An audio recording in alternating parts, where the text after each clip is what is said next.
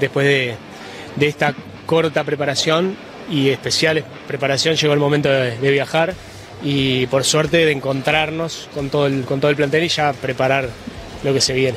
¿Cuándo vas a tener todo el plantel completo? Bueno, cuando lleguemos allá empiezan a llegar los jugadores y el día 12 este, vamos a tener a todo el plantel. ¿Qué esperás de este mundial?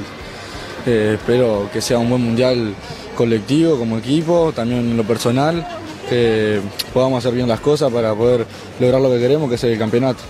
¿Con qué expectativa viajas a este mundial y en qué momento de tu carrera te encuentras?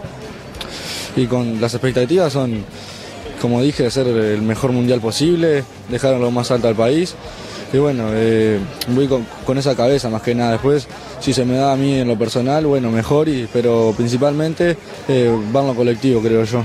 ¿Cuáles son tus expectativas? Y a disfrutar, primero que nada, disfrutar de, con mis compañeros, creo que reintegrarme, digamos, eh, disfrutar al máximo la oportunidad, como dije, y estar a la altura de todos. Contento por participar de este mundial, pero también te vas a perder el, el clásico el próximo domingo. ¿Qué te genera eso? Sí, tenía, tenía muchas ganas, tenía muchas ganas, era mi primer clásico, mi primera edición, creo que... Y bueno, será por una buena causa y estaremos alentando de acá.